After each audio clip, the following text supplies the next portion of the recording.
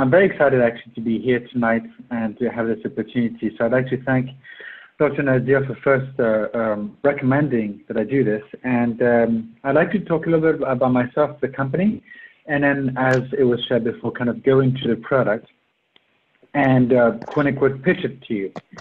Um, but in doing so, I'd love us to remember obviously there's a lot of application to our work, but we can today, just for the sake of the discussion, focus um, on, on the lives of the people that live with dementia, like Alzheimer's.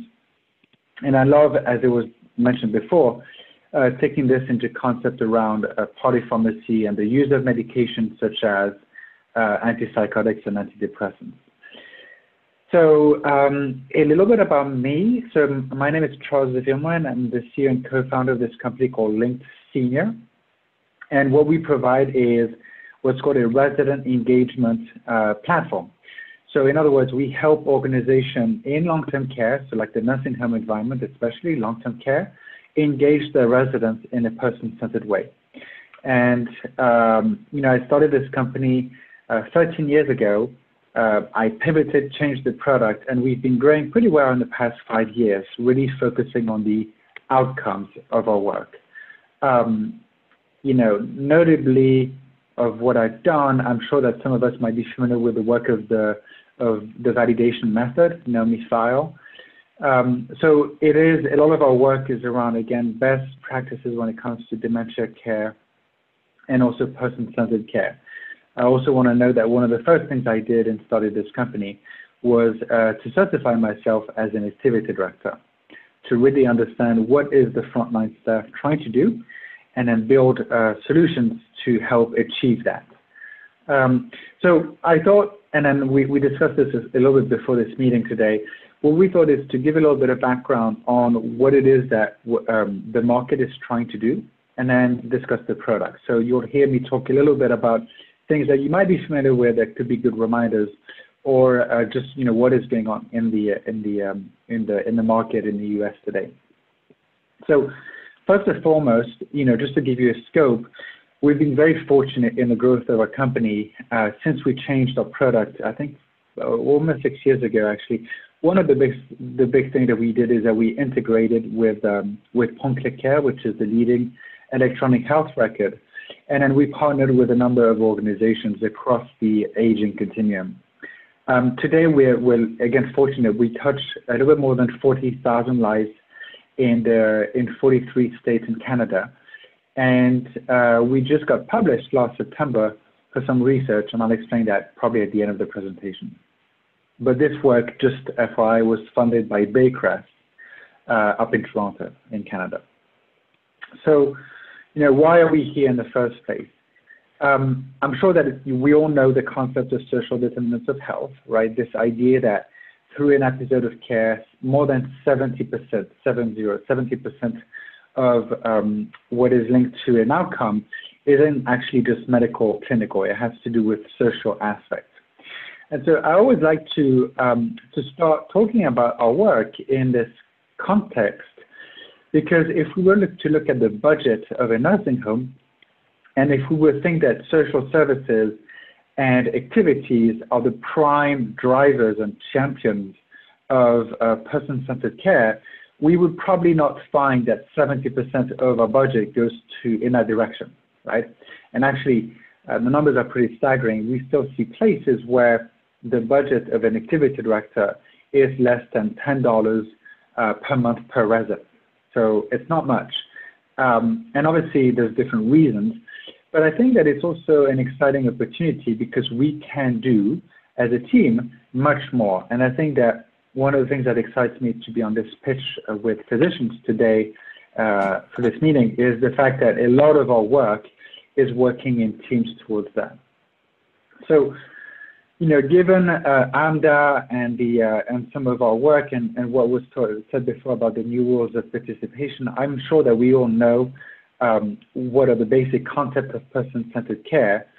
But obviously, in the context of people living with dementia, obviously our work is to help these individuals be who they must be, right? And in the context of people that cannot self-recreate, our work is to provide meaningful engagement and experiences that matches their interests and source of purpose. And that work is very difficult, and we actually at Linked Senior put a framework together to help us understand how to think about it. You know, as an organization, if we serve, say, 100 lives, we should be able to say in real time if we've engaged 100 people. And after that, we have to think about are we actually uh, engaging people based on who they are, their needs and preferences. And obviously, because we're a healthcare industry, we have to think about well-being and outcomes. And interestingly enough, you, uh, you might be shocked in hearing that we still encounter a lot of organizations where they can't even tell you if it, they've engaged all of our residents, either because they're still using paper or they might be using different um, tools in the EHR, but none of the tools help them report in real time on that. Um, you know, activities, resident engagement is very challenging uh, there's a lot of turnover, obviously, in the industry. We don't staff much in this particular department. There's one in 60 residents. And obviously, um, most often the family doesn't visit, and because the, the residents, the older adult, cannot self-recreate, it comes back to us, the staff, and I say us, like people working in the resident engagement, to engage them. And the end result is a statistic that is kind of sad, which is, you know, how many minutes do we provide a resident a day? And so this, the CDC report came up with national average four years ago. It hasn't evolved too much, and that is 11 minutes of engagement of activities um, per resident in a skilled environment, and then 20 in assisted living. Right?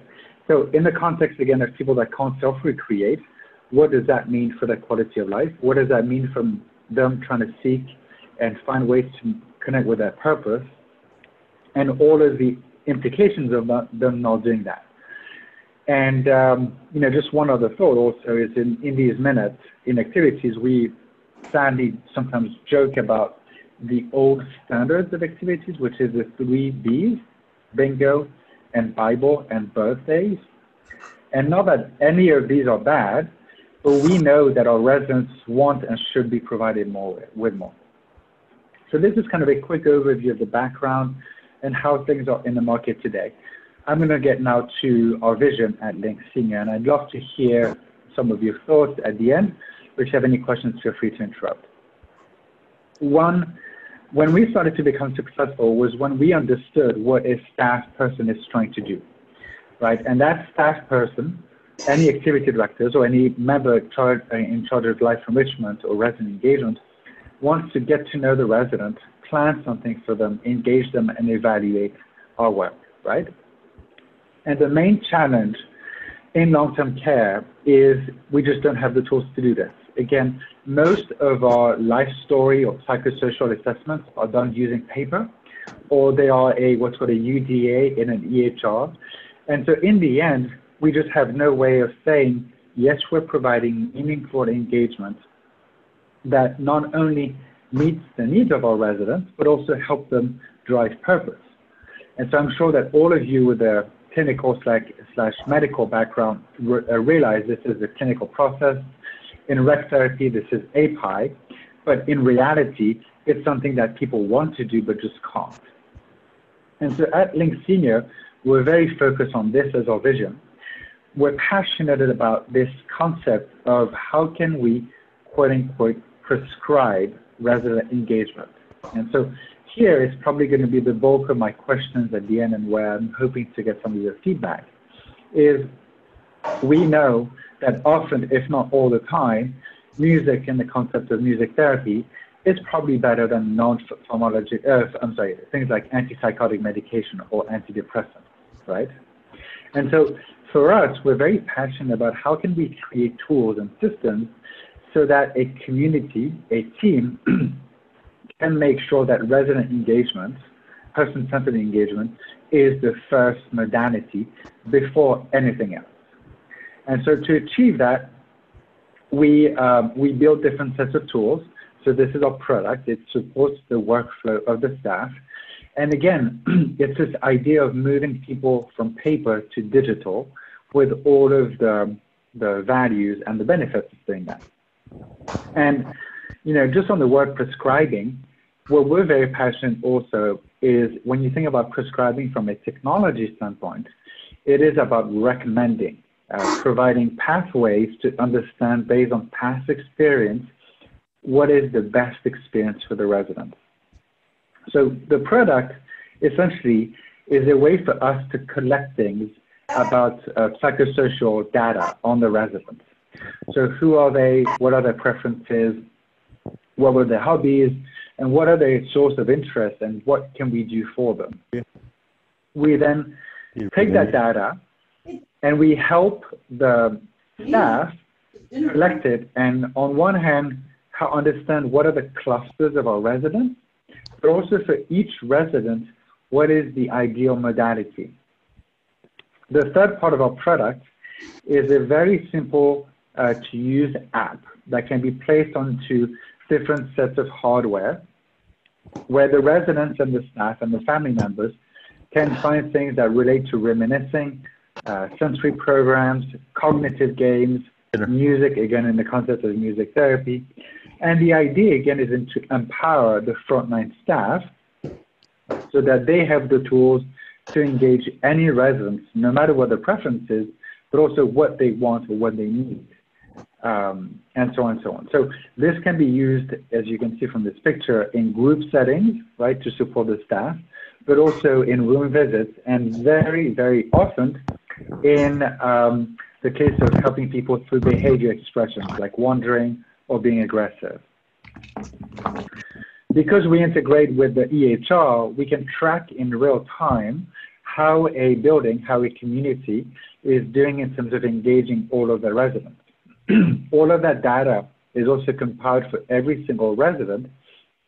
And so at a high level, you know, one, are we engaging every resident? Two, how are the residents uh, reacting to the programs? And then three, we can see how our team spends their time.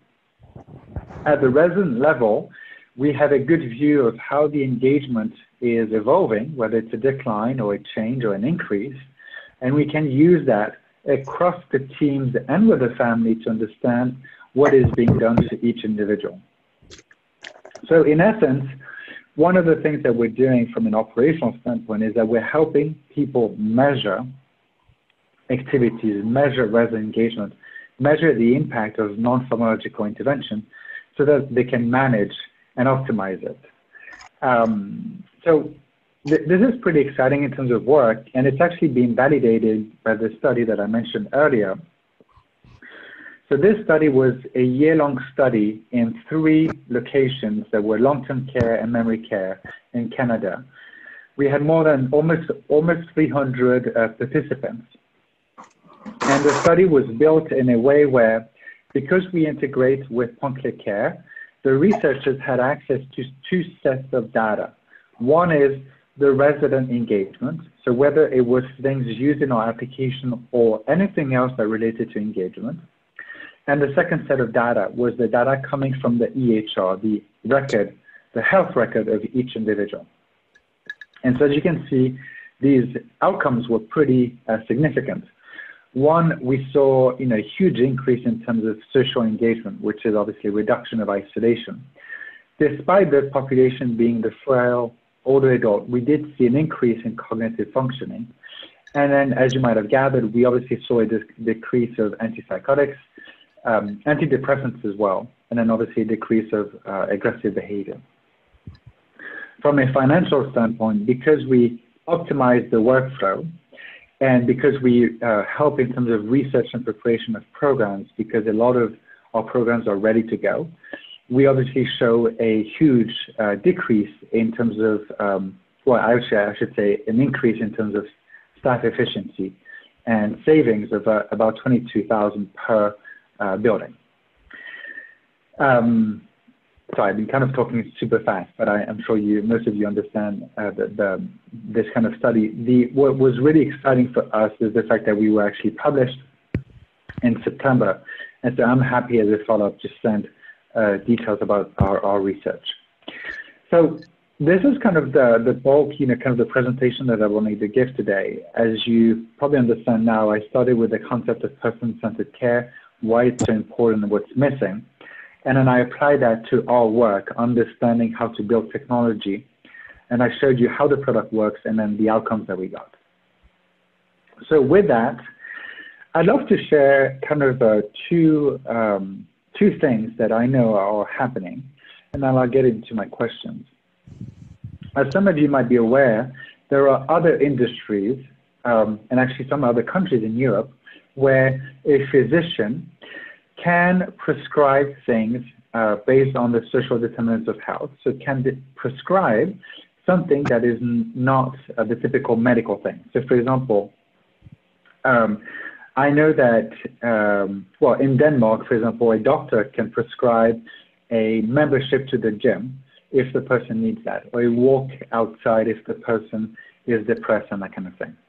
And actually, last two months ago, there was a nursing home in Wisconsin where the physician prescribed a program called Music and Memory, which is obviously a music-based program, instead of an antipsychotic.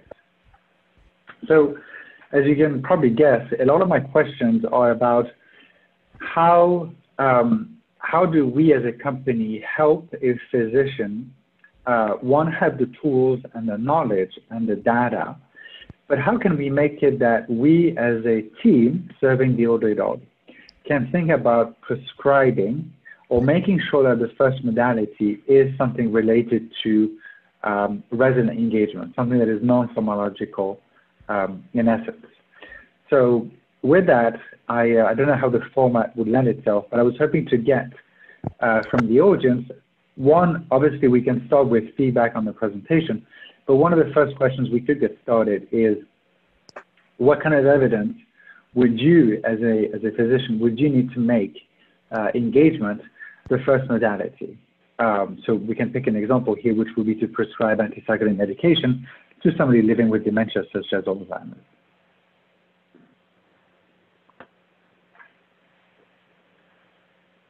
So this is Swati. I can take um, stab at this first. Um, so one of the things that um, I think I may answer this question that um, I'll tell you that when we have our residents with dementia, we're always so worried about starting an antipsychotic. So I think, you know, for the most part, the first thing that we look at is, you know, were there any precipitating factors? But then, you know, there is a pattern to the behavior. And what I find myself doing is oftentimes trying to, you know, play that game of let's guess what this person needs and try this non-pharmacological modality, for example, you know, music therapy, or let's try um, the the essence, you know, the um, um, smell, you know, the uh, uh, lavender or something, or give a um, baby um, a doll to the person. So I'm blindly trying to, we are blindly trying to do things. What this program actually is exciting um, me to do is that you know you are clearly getting input and really trying to boil down as to what is more likely to work.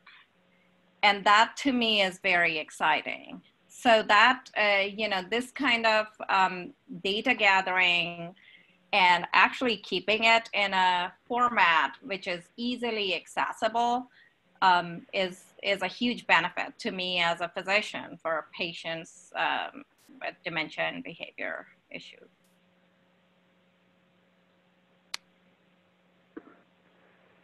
This, Great, this thank you. So, yeah. No, go ahead. Go ahead, please.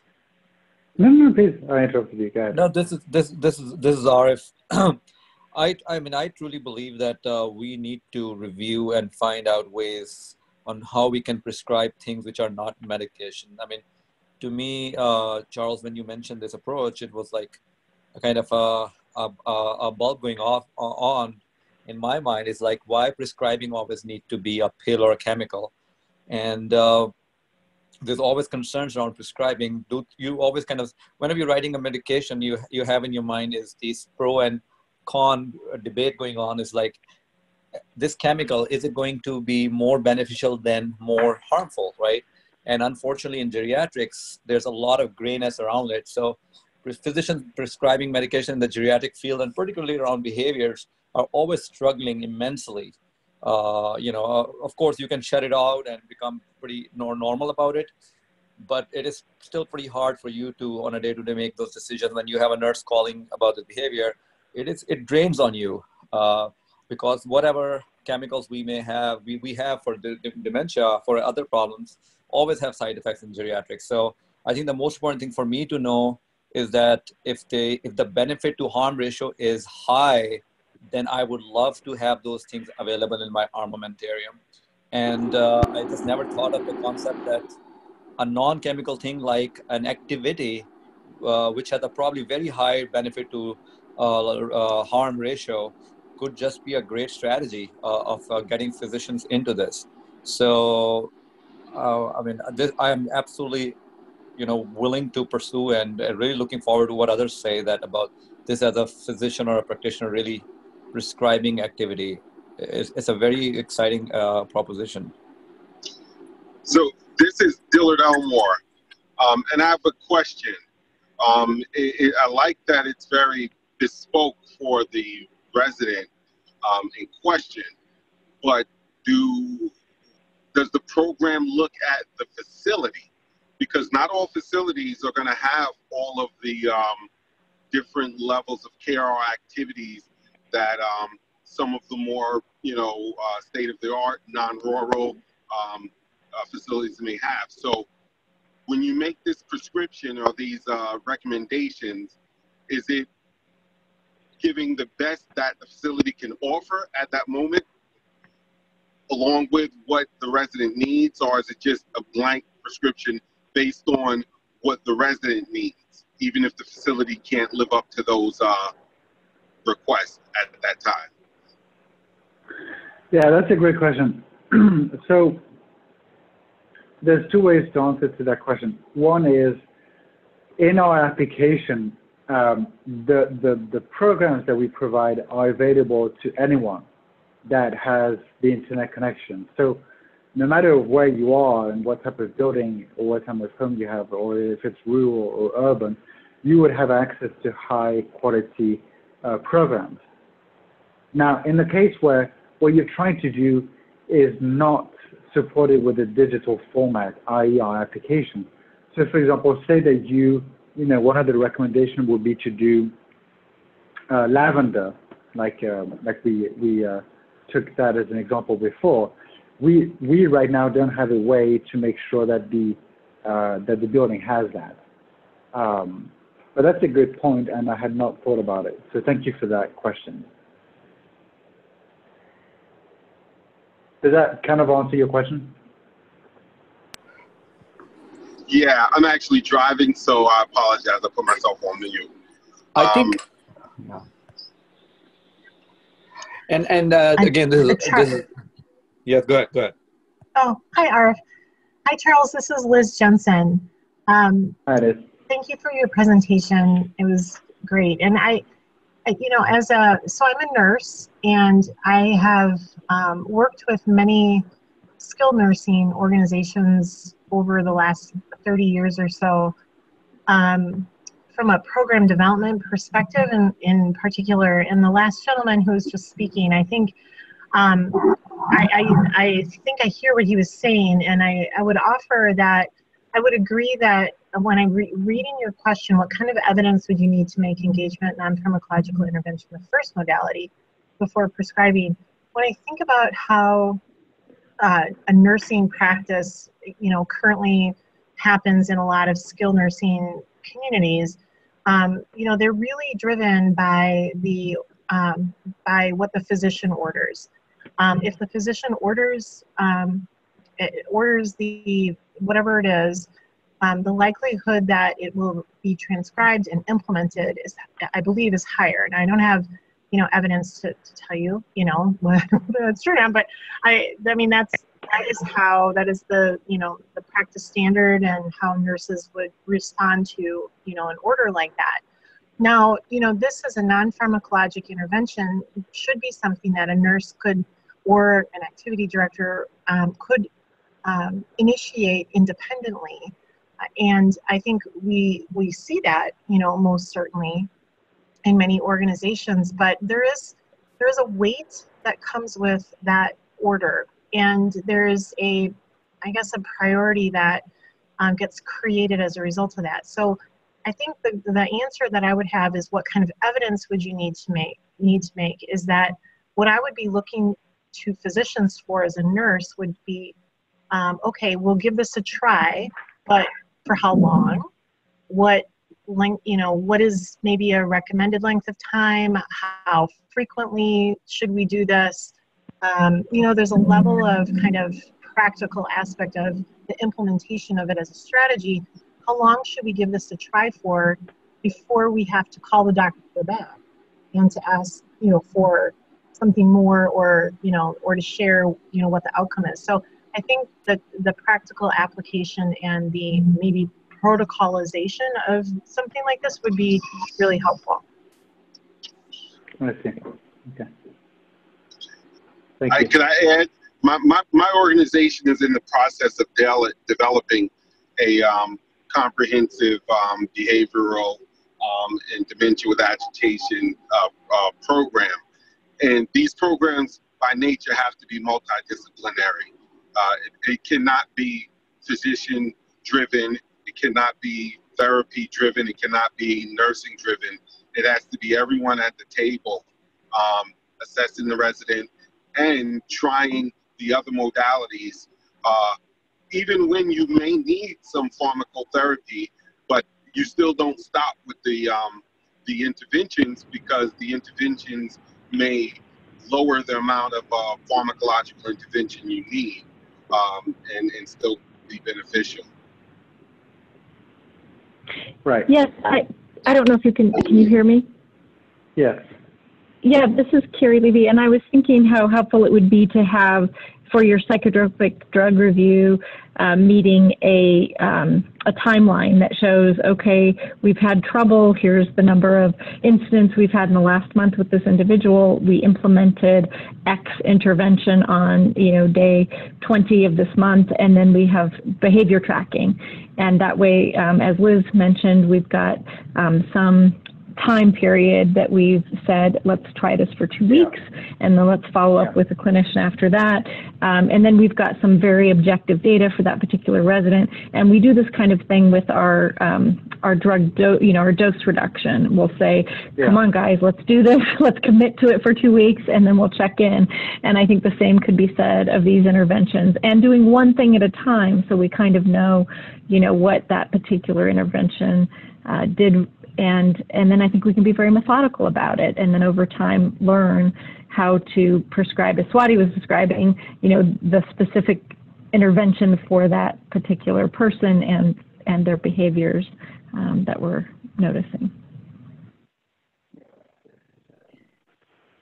Yeah. And, Thanks uh, for the and you know and and and for us and also this are you know physicians kind of need a guidance on the formulary like what is on the formulary and that kind of starts defining their prescribing practices or you know in that facility or in that healthcare environment right? I mean this is easily available versus that which is not easily available.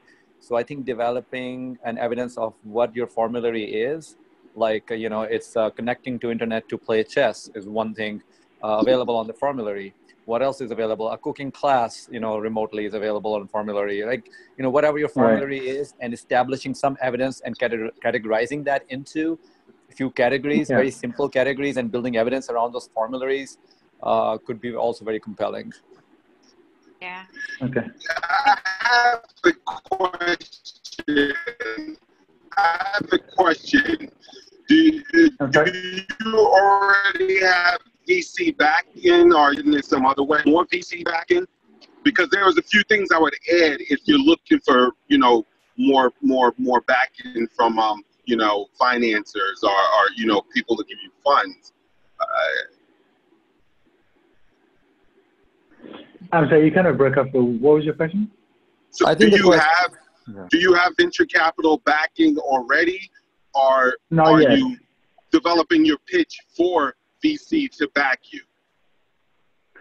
Uh, right now, we're very focused on um, um, well, let me put it around. We, we should be going to seek uh, institutional backing um, sometime in 2020. All right.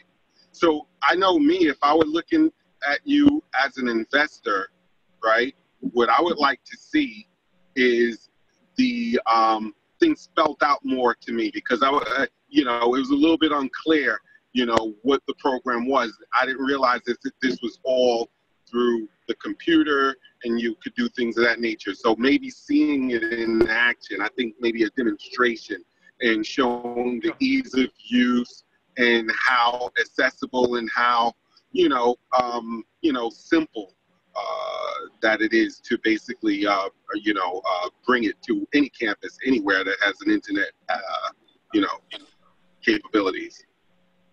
Okay. I think I think that's a great point. For, uh, uh, you know, and I think for Swati, just I think this is good feedback for us, the IPAC and the Pitch Webinar team is to kind of think about how we can send an introductory video or, or a small slide deck or some link for people who are going to join us beforehand to kind of play play with it and look at it in a bit more detail.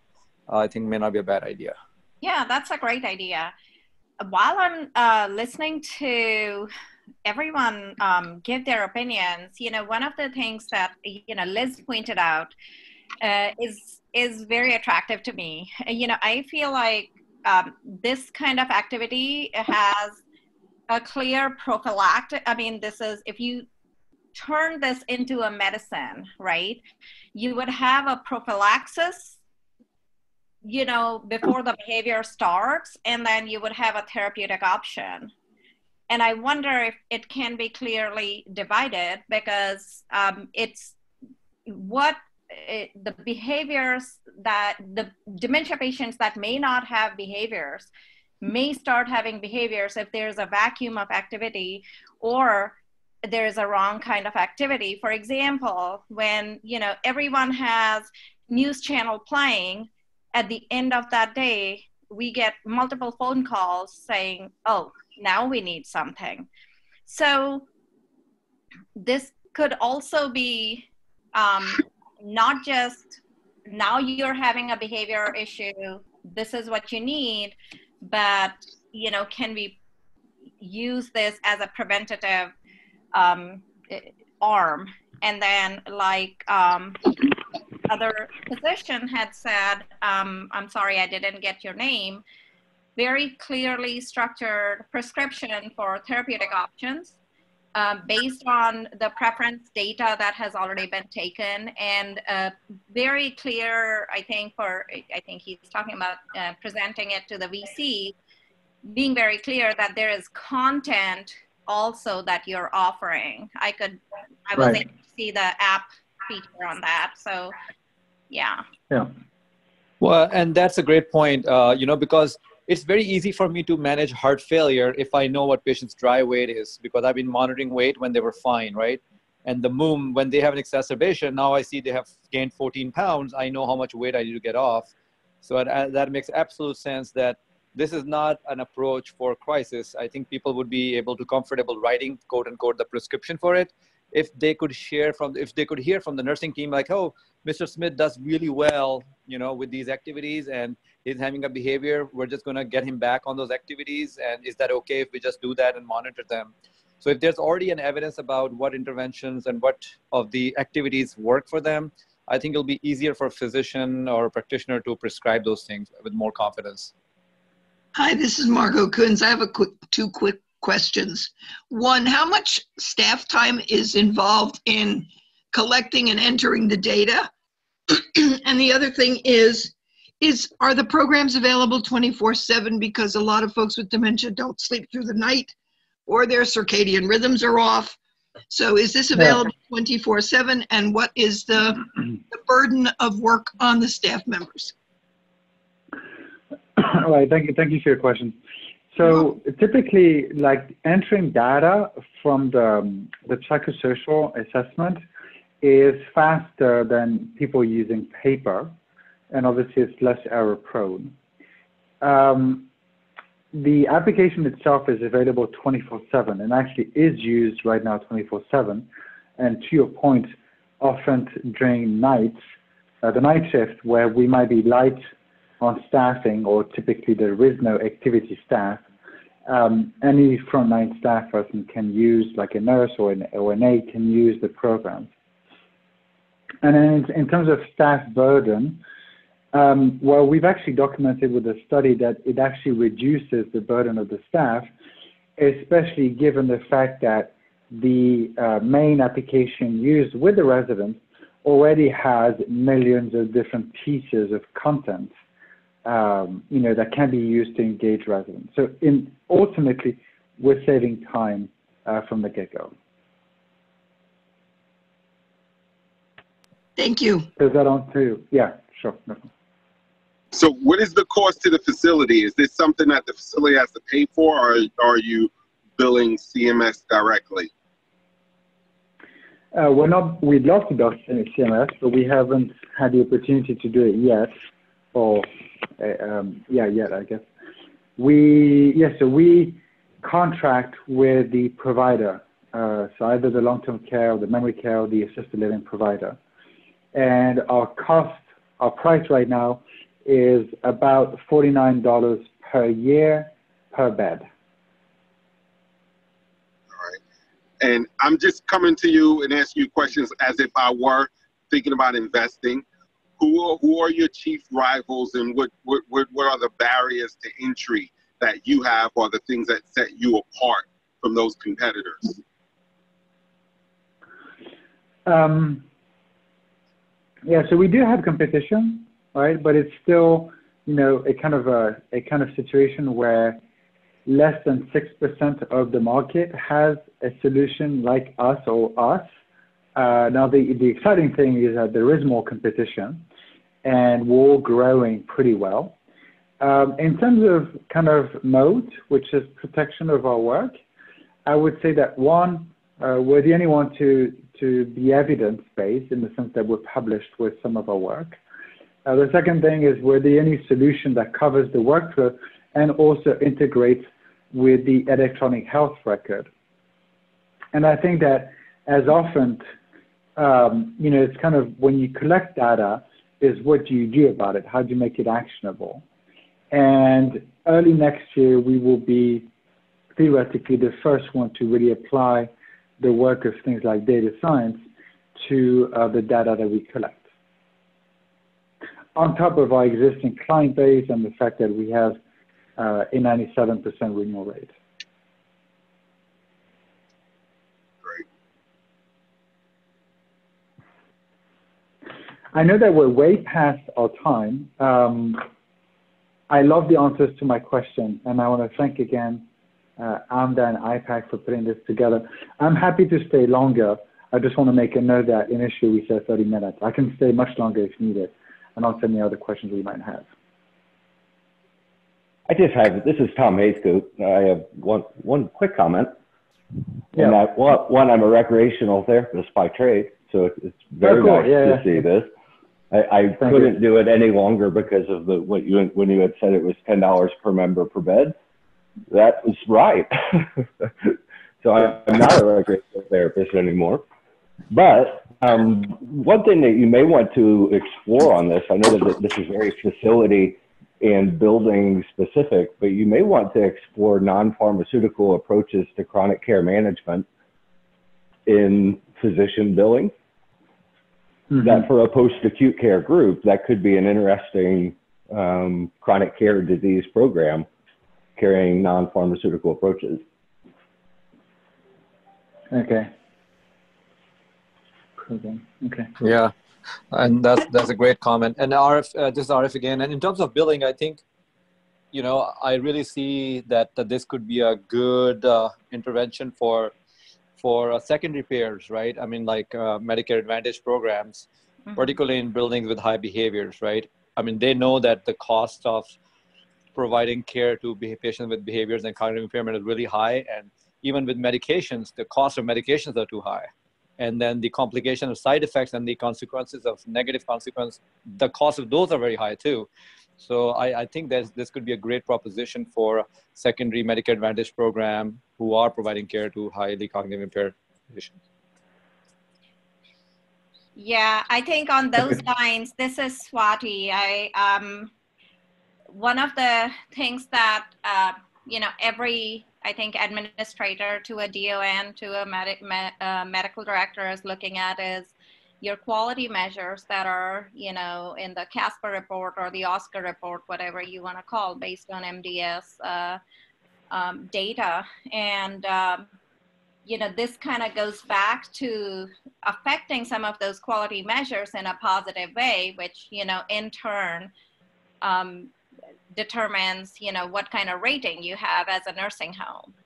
So that is one of the, um, definitely a selling point of this, uh, especially with that decrease, 20% uh, decrease in, in medication use. Um, I had a, you know, a question as to the new payment uh, model, the PDPM. Um, does this have a positive effect on, you know, how you can get reimbursed in the new payment model? Yeah, so, so the answer is um, we don't know yet because we don't have data to support it. But in theory, Absolutely. And and the main reason, so obviously PDPM for the, I mean, uh, I'm sure anyone on the line knows about it, but it's really for only for short-term uh, stay residents. But it shifts a lot of the efforts and the energy uh, beyond or outside of the therapy world to nursing and social services. So when you consider the fact that you might have high utilization uh, quote-unquote patients, like people living with dementia or a high level of depression, you know, we know that non-pharmacological intervention has a huge potential, if used correctly, a huge potential in terms of driving outcomes. So if these outcomes are, you know, managed properly under nursing, uh, restorative nursing, activities, social services, the answer is absolutely yes. Hi, it's Margot again. I have one quick question again. How does the data from the programs that the seniors are involved in, how does that get into the EHR? So that's a good question. Right now, our integration with the EHR is what's called an HL7, and we only get information from the EHR to us. Um, we're actually working now to push back data. Um, but what people have been doing is either um, using us as the quote unquote record of choice for engagement or uh, batch uploading uh, PDF files back to the records of the residents.